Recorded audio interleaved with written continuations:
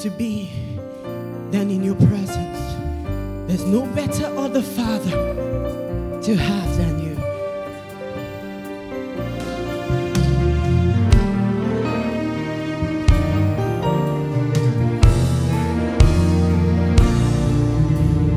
This is my